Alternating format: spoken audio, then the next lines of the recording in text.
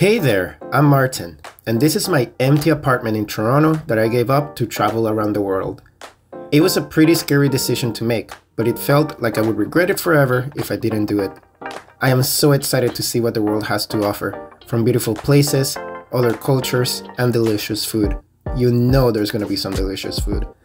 I'll be posting all about it here on my profile, so if you want to tag along, you're more than welcome. Where should we go next?